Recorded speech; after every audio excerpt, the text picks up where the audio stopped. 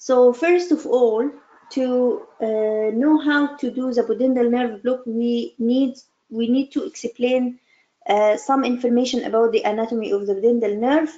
So all of us know that a pudendal nerve is the nerve that supplies the perineal area and it actually comes from the sacral uh, plexus from uh, S2, 3 and 4 and uh, the fibers of the nerve itself contains both motor and sensory and some, some autonomic nerves as well and the course um, of the perineal nerve is very characteristic that it will leave the pelvic cavity through the greater sciatic foramen and then turn around the, the, the ischial spine and then enter the perineal area through the lesser sciatic foramen.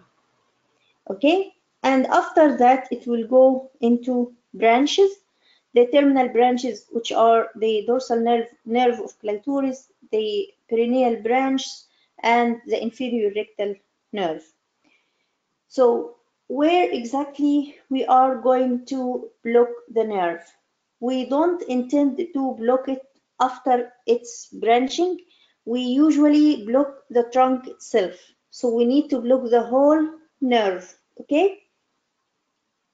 So um, we will target the uh, trunk of the pudendal nerve at the level of ischial spine to block everything, okay? But put on your mind that the perineal nerve does not supply the anterior parts of the perineum. If you remember the uh, single best answers of the anatomy question in part one exam, I don't know if you can remember, but uh, the anterior part of the perineal area sometimes supply, uh, is supplied with the ilioinguinal and genitofemoral nerves as well. So we need a, a like if we put the the uh, pudendal nerve block and we need to do anything in the anterior part of the perineal area, we we need to infiltrate it as well. Okay. So that's very important to know. And uh, the other thing that we have to know that like as an uh, an anatomical um, knowledge that every uh, nerve is always always accompanying the vessels the vein and the artery so the pudendal nerve and the artery came close to the nerve so we need to be careful not to um, injure the pudendal nerve while we are injecting the uh, local analgesia okay because if we just break the artery and inject the um, the local analgesia, this will cause intravasation of the local anesthetic and this will cause severe complications and it may be fatal. Otherwise, if we realize that we are in the artery, sometimes uh, even if we came outside, this may cause some hematoma and uh, sometimes uh, this hematoma may extend to the ischiorectal fossa and these areas, okay? So we need to be so careful. We we we will tell during the techniques what we are going to do okay? So what are the indications of pudendal nerve block it's a method of regional analgesia okay? Uh, in case of there is severe pain in the second stage of labor or if we are going to do uh, instrumental delivery for example in uh, the second stage of labor or if we are going to do a perineal repair, usually for the perineal repair, we will just infiltrate the perineal area, but sometimes we uh, put the pudendal nerve block as a method of analgesia. Okay, and sometimes if we are going to do some minor procedure in the uh, perineal area, like if there is uh, a cyst or anything need to be removed, sometimes we do it under the block of pudendal nerve. Okay. And what are the contraindications for pudendal nerve block? Actually, uh, because we are injecting uh, lidocaine, so the, the first of all, that, that the patient should not be allergic to the lidocaine. And if the patient ha is having active infection at the moment, we will not do that because this will in introduce the infection and maybe causing um, abscess, which is deep in the pelvis. And if the patient is having any coagulopathy or bleeding tendency, because with breaking hair, uh, this may cause severe bleeding. And also if the patient is uncooperative because the technique is difficult.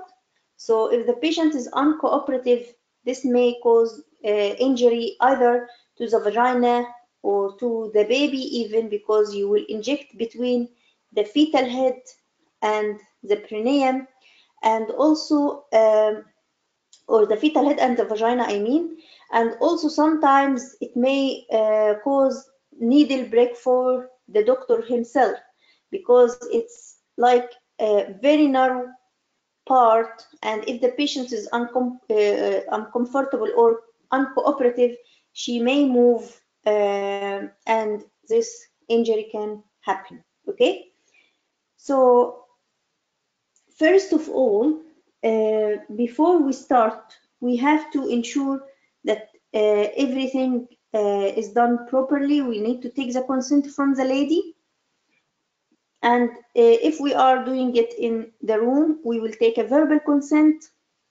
So if the lady only agree we will do it otherwise if she is not willing to have this kind of analgesia we will not do. And then uh, we will ensure that the equipments uh, are present. So what we need we need 20 milli of 1% lidocaine okay inside the syringe. So we have a special needle this one used for pudendal nerve block. As you can see it's a very long um, guard and this is the needle. So the lower the lower picture showing the needle which is inside the uh, the metal tube or uh, the, the cage and the upper one is the needle itself. When we remove it it is like that okay? And this uh, kind of needle is a special one and it is called Iowa trumpet okay? It's a special kind of needle called Iowa trumpet and this needle is used in this way. So it will be guarded because if we introduce the needle directly to the vaginal uh, wall it may cause injury okay? So we need to ensure that the needle is present lidocaine is present all the instruments ready for vaginal birth. And uh, if this needle is not available what we need to do we can use uh, a spinal needle. Okay? Uh, this spinal needle should be 6 inch long and 20 to 22 gauge okay? So uh, and we can't use a spinal needle uh, bird like that. We need to put it in a plastic uh, guard okay? To be guarded needle so we will never ever do the pudendal nerve block unless we have a guarded needle either through the Iowa trumpet needle or through a spinal uh, a spinal needle with guarded or plastic guard guard okay? And uh, in terms of the technique itself so we have two methods. The first one is the transvaginal method and the other one is the transperineal. So as you can see the transvaginal approach that we are going to introduce the needle from inside the vagina and the transperineal uh, approach is that we are going to insert the needle from outside through like uh, we will feel the ischial tuberosity and go just behind it okay so first of all we will uh, why we why we need to use either approach of both of them. So suppose I'm uh, having a space inside, so I can use the transvaginal approach because it's more uh, feasible and more safer. But if there is no space, the head is very or deeply engaged and I can't reach the ischial spine, so it's better to, to do it from the transperineal approach. If I'm doing it for a vaginal delivery and instrumental delivery and like perineal repair, so I prefer the transvaginal approach. But if I'm going to do a minor procedure in the perineum, for example, I can do the transperineal approach. Okay. Uh, the most common approach used is the transvaginal one. So we will uh, position the patient in the lithotomy position as usual, and um, we will load the syringe, okay, and uh, we'll put it away, and then we will uh, insert two fingers, okay, on the lateral vaginal wall and try to feel the ischial spines. Usually, the ischial spines can be felt on either vaginal walls, uh, like at 4 and 8 o'clock, okay?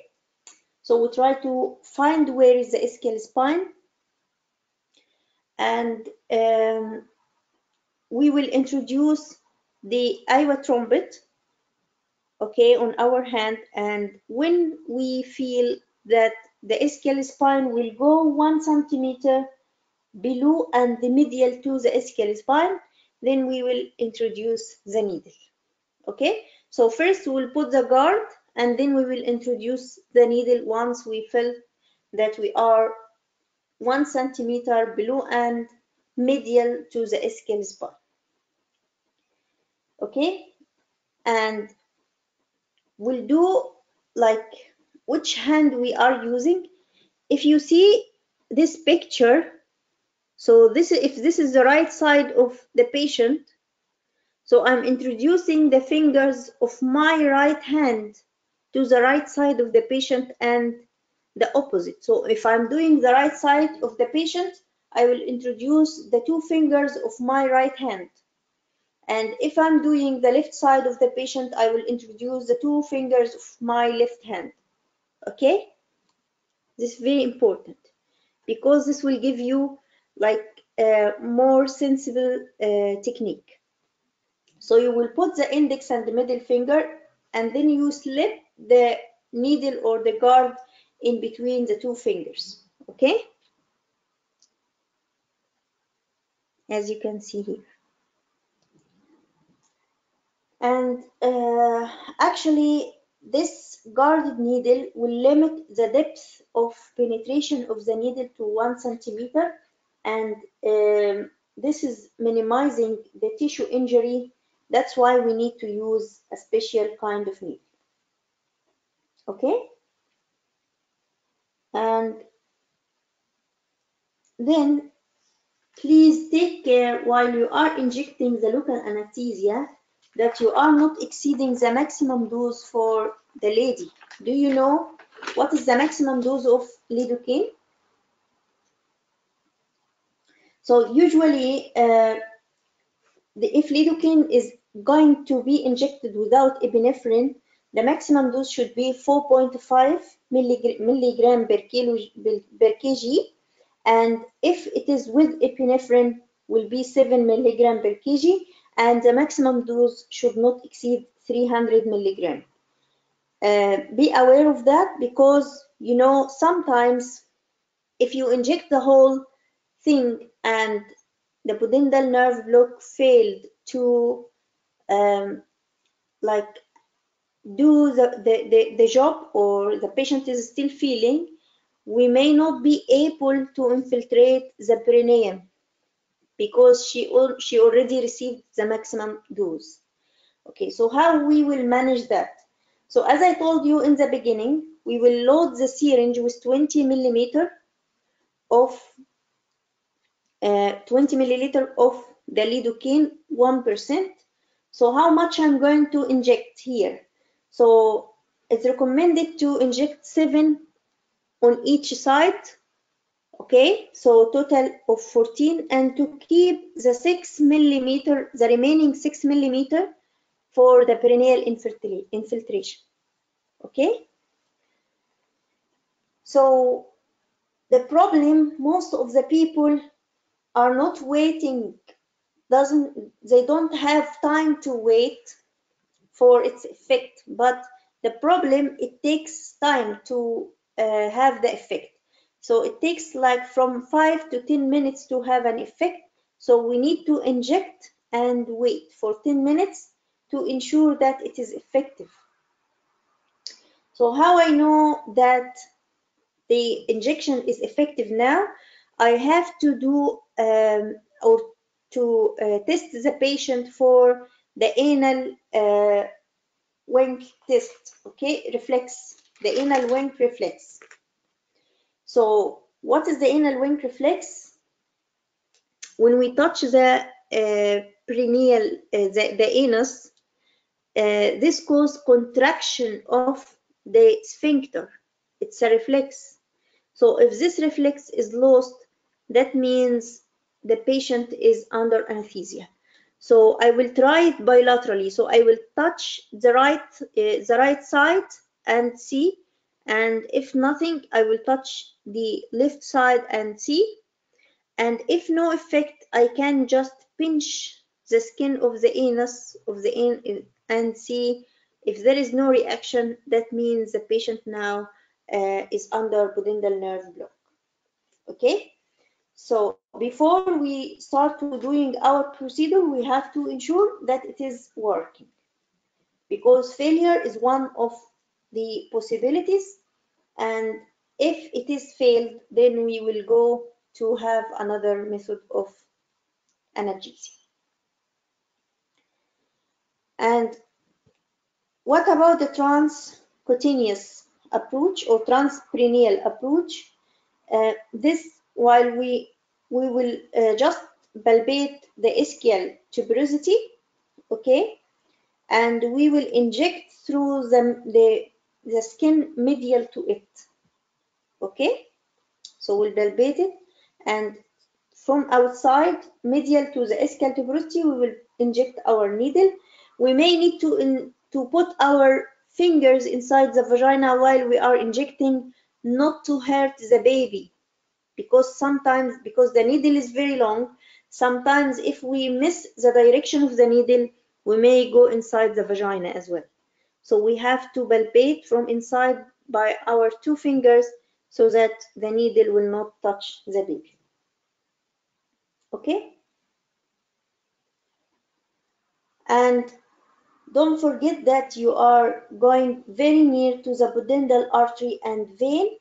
So before you inject the uh, amount of lidocaine, you have to just aspirate first, and if nothing came, then you can inject.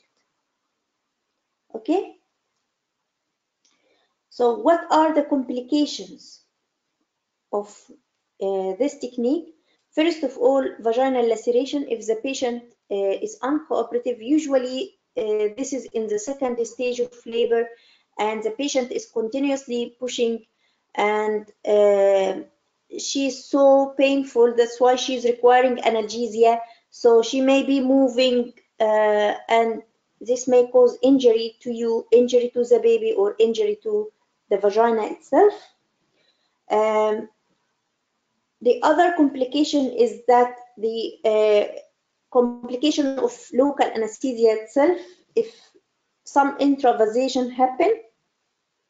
So the patient will get palpitation, dysarthria, drowsiness, confusion, sometimes loss of consciousness, hypotension, and bradycardia. So it's a serious complication we need to take care of. And in case we touch the artery or the patient has any coagulopathy, we may lead to hematoma. And this hematoma can be either vaginal hematoma, can be hematoma in the ischiorectal fossa or even it can be extended up to retroperitoneal hematoma as well. And if the patient is having infection, so we will introduce this infection deep in the layers, so she may develop later on subgluteal abscess or retropsoas abscess. And that's why if we detect any active infection, we will not go, we will not do this procedure. Some patient after delivery will complain of numbness in the gluteal region and uh, we call it because sometimes we may touch uh, the nerve causing neuralgia. So ischial uh, region paresthesia or sacral neuropathy, all these complications sometimes from the injury of the nerve itself. So instead of just infiltrating around the nerve, we may touch the nerve itself causing damage and injury. And this will cause complication after that. And as I'm telling all the time, we may injure the baby. Sometimes, by mistake, we may inject the local anesthesia into the baby uh, by mistake. Okay, so please take care.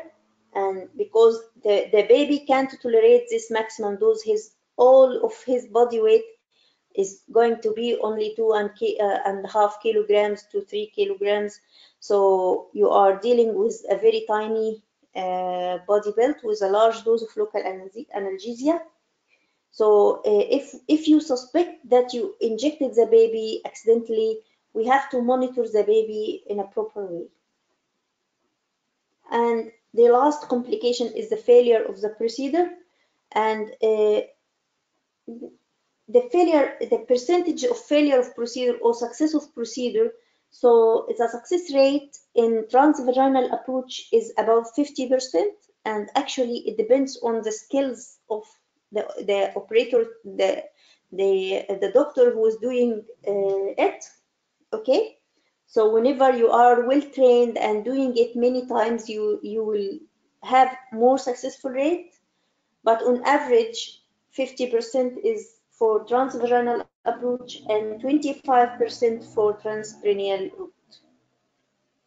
Okay, so that's all for uh, pudendal nerve block.